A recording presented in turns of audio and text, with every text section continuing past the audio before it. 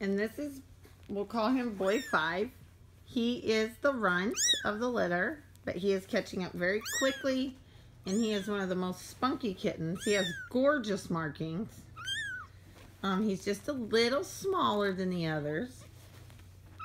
But in that big of a litter, um, seven kittens, you'll have that.